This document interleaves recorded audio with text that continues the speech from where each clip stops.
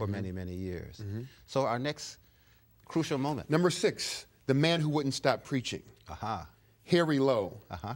Harry Lowe uh, was at one time a Baptist minister who was converted to the Adventist faith.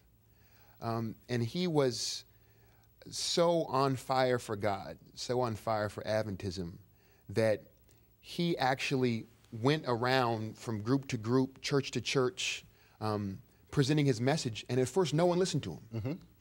But he wouldn't stop preaching. Sure. And so God always honors people like that. And uh, through his through his efforts, the first African American Seventh Day Adventist church was established in Edgefield Junction, Tennessee, in 1886. Yes, yes, yes.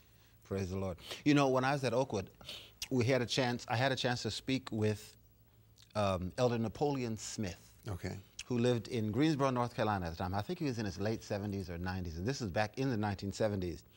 And he was telling me that he had an opportunity to talk with Ellen White, uh, and he passed it up. Um, I have a sermon called The Land of No Regrets, and I start out with his story. He says his one great regret in life was that his own personal prejudice, he didn't see why he should have to talk with Ellen White. But she came to Oakwood College, uh, and she just sat with the students and just talked with him. Hmm. And she answered questions, and she didn't do that too much. Just any question you want to ask me, I'll, I'll answer. Hmm.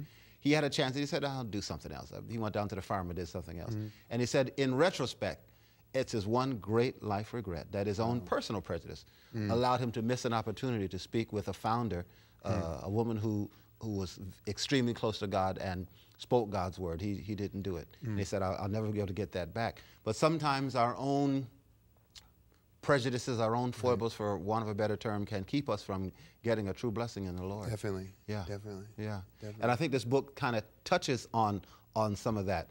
Um, our church is a wonderful church and has done very, very well. But there are some areas that we, we could have been a little bit better in, uh, Definitely. frankly, Definitely. uh, and could have done a little better in. And this touches on, on some of those. And yet, it's not a negative book. I noticed that. It is a redemptive book, it is an inclusive book. It's not picking a fight or casting any blame, it's pretty much giving the facts. Definitely. Uh, and, and with all of that, it shows that God's hand never left the church. God's hand never left people of color. Um, God was still guiding.